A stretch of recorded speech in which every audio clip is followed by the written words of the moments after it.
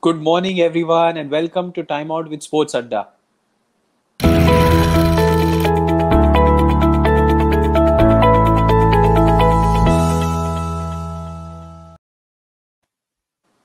Morning, Arun. Are you getting the Friday feeling today? Weekend coming up. Yeah, absolutely. Uh, uh, yeah, after looking at last night's game, I- I'm thinking what happened there. I mean, it was absolute decimation, wasn't it?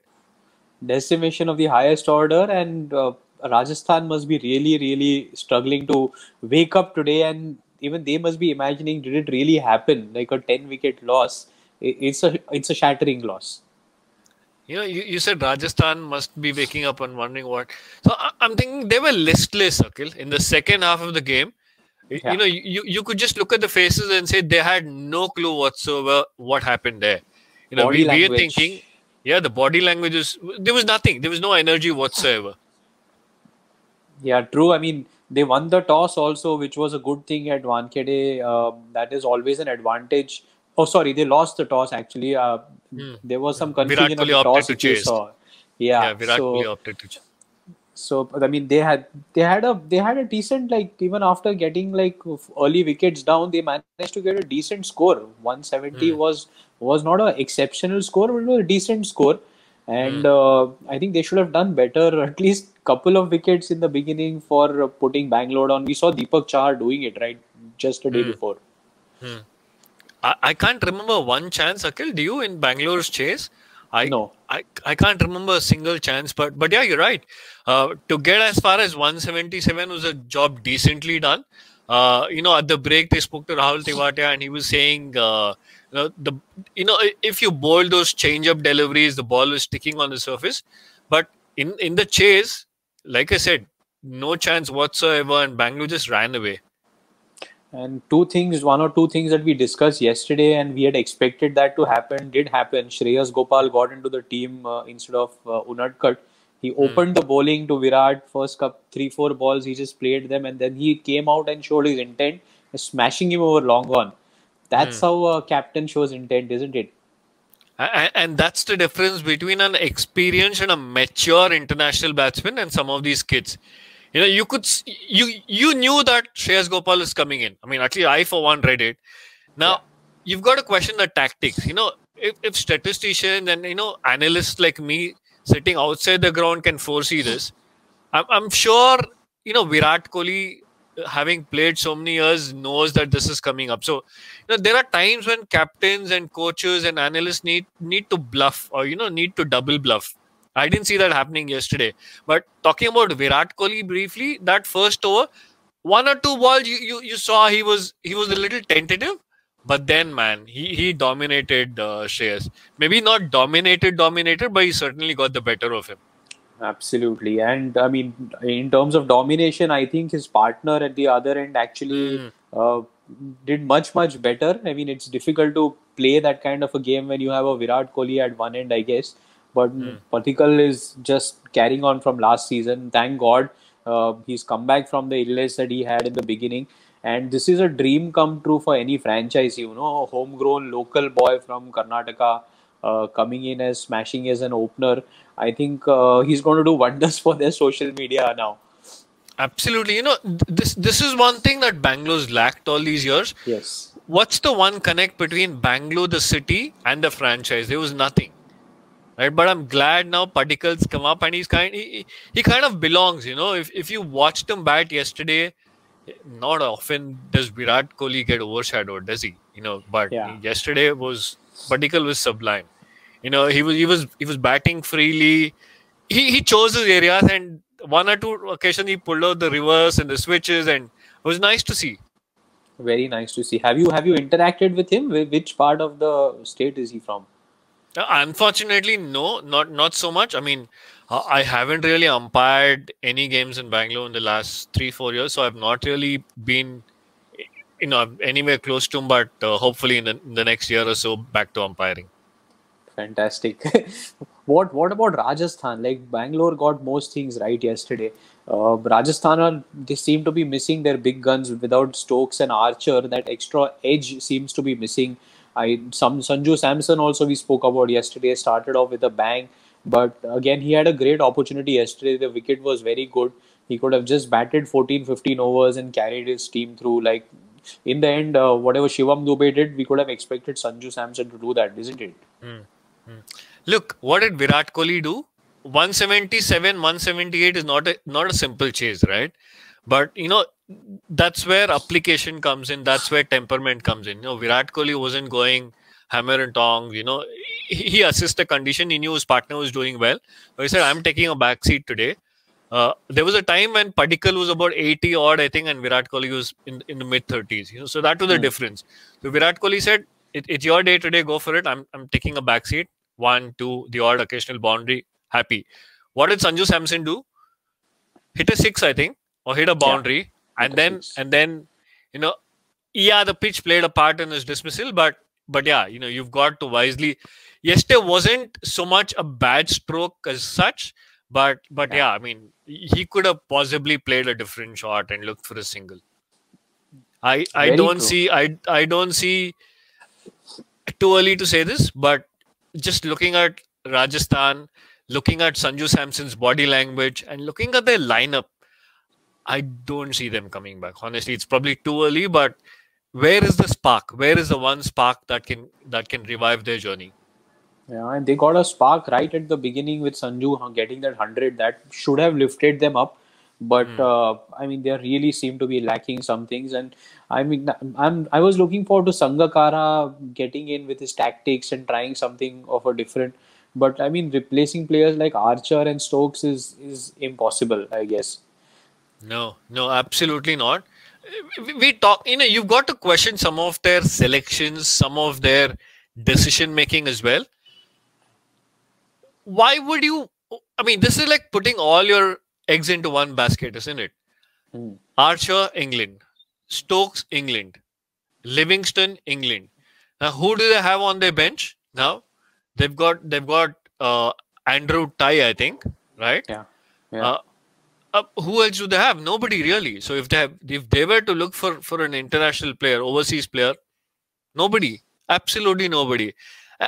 And then who do you have in your playing eleven? Uh, you you've got a David Miller. We spoke about him yesterday. Uh, I I thought he's an underachiever. You might not have agreed, but but what did he do yesterday? Again, nothing, right? So I, I don't know. Mustafizur Rahman they've got. He's not the same phase he was three four years ago yeah. You've got to question their selection their auction strategy again. I i, I they haven't got it right. You're right. I at that point i definitely agree with. Uh, they still have a lot of matches to play. That's the worry you know like losses like yesterday those are the mm. ones that you really need time to shake off. And i mm. in the league there's not enough time to recuperate and mentally come back. So they are playing tomorrow you know, they've just yep. lost a big one last night. They're playing tomorrow again. Yeah, the only hope I get is Jos Buttler. He's one guy who's experienced and who's seen ups and downs. If he starts firing and gets them through uh, a couple of chases, that's that's one hope that they should have. At least he's opening now. He has 20 overs to bat, so that's that's maybe something that they can look at. That's it. Yeah, yeah, that's a, you you want that to happen having said that, if you watched uh, closely, if you observed Buttler's body language yesterday, he was disappointed as well. You yeah. just didn't didn't feel the vibes, you know, the vibes that we are here to compete. Let's give it a fight. I know we got blown away, whatever, but I, I didn't see that happening. And and yeah, I mean things can turn around. Things can definitely turn around. We've seen it happen in the league, but yeah, just looking at their their lineup, just looking at their body language, I'm not yeah. too too confident about it. Great. Before we go on to today's game, I wanted to ask you. You were at the stadium uh, yesterday to watch the match, right? No, no, I wasn't. Uh, but I'm you, going today. You're yeah. going today. I we'd love yeah. to know uh, how the experience is of an empty stadium, and uh, especially in Wankhede because that is something that uh, I've always seen full. Even for Ranji matches, we have our regular 500 400 people who used to turn up hmm. so i i and they make a lot of noise they make a lot of noise they know their cricket uh, they have yeah. simple and simple terms for each of the players uh, local players their friends turn mm. up so i'm yeah. going to ask you tomorrow about how the experience of watching a game uh, at an empty stadium is going to be at Wankhede. okay yeah. fantastic we, we'll, we'll talk about tonight's game tonight's game absolutely Mumbai and Punjab. Uh, it's always it's always uh, I look forward to this game for one primary reason. Uh, the top T20 batsman for India, Rahul, uh, versus uh, Jasprit Bumrah, who's like mm. the real uh, powerhouse for Mumbai, Mumbai and India.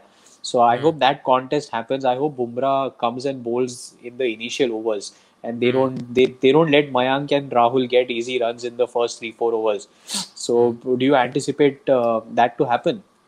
For a second, I thought you were going to say I'm looking forward to the contest between India's two best white ball batsmen, which is KL Rahul in the T20 format and Rohit Sharma across white ball formats. But but yeah, Bumrah v Rahul uh, contest, I, I, I really am looking forward to. They haven't had too many head-to-head battles in the past, but uh, promises to be one exciting one tonight. Yeah, and Rahul has been exceptional against uh, Mumbai. I think he's scored consistently. He's, I mean, look at the numbers. He, I think he loves batting at the Wankhede. They are not going mm. to be batting at the Wankhede uh, today, but mm. these are numbers which are superb. The strike rate is also something, except for the first one. The otherwise strike rate is also exceptional. Mm. You know, Rahul's that that that form player, that touch player. The the only criticism of Rahul over the last couple of years has been a strike rate Runs mm. are not going to be a question. at all. yes, he he had a failure the other night, but runs are not going to be a question at all. Rahul will get you runs.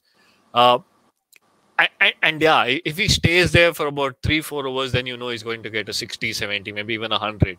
But mm. the question is, can he survive that initial burst from Trent Boult and Jasprit Bumrah? If they bowl four overs of the first six, it's a contest in the making. Absolutely, and both the both the Punjab openers actually, even Mayank is somebody. If he gets some width or he gets something on his leg from Boult, he's not going to hold mm. back. He, both mm. of them are just going to. I hope they go for it. This is the kind of uh, contest that we enjoy watching in in uh, in cricket, isn't it? Yeah, and Mayank knows only one way to bat. I mean, yes, he's done well. He he's got the skills and the temperament to adapt to to playing slow. But in the IPL, I think he's out there to make a point. I'm going to yeah. bat and get runs at 140, 150, which is what my team needs. I think there's an understanding of sorts that Mayank, you go for it. KL will will bat deep. So we'll see how that happens. But but yeah, I'm, I'm looking forward to Mayank scoring run, especially if the ball comes on and if they bat early, go for it. Got to talk about Trent Boult. Akhil. I briefly mentioned him. You know, hmm. Trent Boult. This is what an international cricketer can do. You know, Uh, look at his, his returns this season. One for 36 against Bangalore, two for 27 against Kolkata, three for 28 against Hyderabad. No wickets against Delhi, but went for 23 runs on. You know, this is what an international cricketer needs to be doing in this league. If you yeah. if you've been chosen to play for a franchise in, in the Indian T20 league, this is what is expected of you. Either get wickets or runs, or if you're a bowler and you're not getting wickets, keep the runs down this this is a this is a very nice and important stat you know and if you look at all the four international players at mumbai field they are the ones who have contributed similar kind of numbers most seasons. If you see a pollard a Boult uh, uh, Quinton de Kock. Now the fourth seamer. Last time it was Pattinson who made similar impact in most mm. matches. This year they are rotating that fourth um, foreigner. So yeah, you're right. I mean the foreigner's role is very very very important because there are only four of them and they are hmm. expected mm. to come and deliver and win matches. And mm. if you see Bangalore also, that's what is happening this season with Maxwell and De Villiers contributing. Uh, mm. That's the reason teams win, and that's exactly the point we spoke about Rajasthan previously. Their foreign players are not really uh, going to contribute the same way that they had expected. So this no. is a very very nice stat. Uh, Boult is always a danger man. He's he's somebody really whenever he comes, you know there's a wicket going to wicket alert. You know what? You know what is the most surprising thing, Akhil? you know those those numbers don't tell you is those performances were in Chennai. Hmm. Where spinners have done well. Isn't Where it? the ball is stopping, there's no seam movement, nothing happening for fast bowlers, yet Trent Boult is, is performed like a champion. Uh, quickly moving on, uh, I want to talk about Mumbai batsmen. You know, M- Mumbai are two from four, right? They won two, lost two, but what's wrong with them? They've scored only one half century so far this season. I think the pitches have not really favored their uh, their the batsmen that is that are there in their lineup. They are all attacking batsmen who like the ball coming on, and uh, that's not really happened with an Hardik, with a Pollard. Frankly, uh, I think Hardik has not spent enough time at the wicket.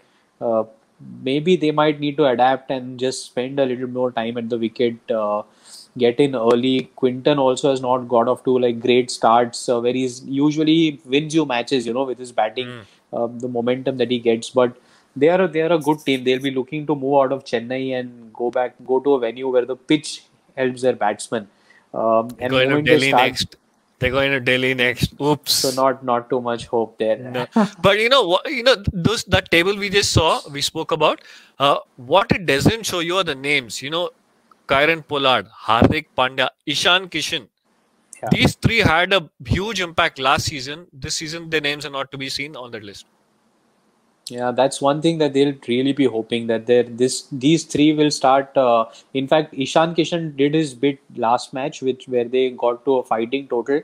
He hung around and he waited till the end. We dismissed a little uh, unluckily by the leg spinner, but hmm. uh, at least he's showing the intent to stay out there and not giving his wicket away like some of the other players in the other teams. So that's why Mumbai know their game. They will come back. I mean, they'll adapt to Delhi also and uh, let's hope that they find the fire. Yeah. Last one before we go. Okay, Punjab have problems with their batting. Uh, uh, would you get in a David Malan? A David Malan, who's the number one ranked batsman in the world, would you get him in? I wouldn't get him in. I think uh, they still have to back their top three. They've delivered for them. Uh, it will be difficult for Malan to just come in and score runs. I mean, he's a he's a top top batsman but uh, coming in against Mumbai and on a Chennai track is not easy. Especially, he usually bats uh, top two positions, right? He bats mm, top uh, three as an opener. Yeah, opens are number three, yeah. Yeah, so coming in at number three and just having to score runs and expecting uh, him to change the fortunes of the team is going to be difficult. I wish they they try a Shahrukh Khan maybe. Uh, at mm. number four, uh, swap places with the Deepak Hooda because he's been striking the ball uh, we have not spoken much about him because he's not uh, got in the top runs, run making charts or something. But boy, his hitting abilities have really uh, stood out for me this season. Mm, so yeah. I hope he gets a chance to bat, say, 10 overs at least, and uh, maybe that can be a spark for Punjab. Yeah, hopefully, hopefully, you know, Punjab will be able to compete better tonight. Uh, don't have to ask this question, do I? Mumbai or Punjab? You are you're definitely leaning Mumbai. That's that's obvious. I I would want uh, Mumbai to chase today. That's one thing I would want because chasing has not been so easy in Chennai, and uh, that's one advantage. I hope Rahul wins the toss, they bat first, and leaves the difficult task to Mumbai. And uh, let's see if they play two spinners. I, I hope Ravi Bishnoi also gets a game. So mm. between him and Murugan Ashwin, let's see if uh, Rohit and uh, the rest of the Mumbai batting can match up and chase it. So that's what I'm looking for. Mm. Well, I'm supporting Punjab for tonight, uh, just to make things uh, even here. Well, that's that's it uh, for today, Akhil. Thanks for joining me before breakfast. Oh no, breakfast is looking forward to breakfast also now, and looking forward to a bumper Friday evening game. Then I'll see you tomorrow. See you. Thanks. Thanks everybody for watching. This is Time Out with Sports Adda.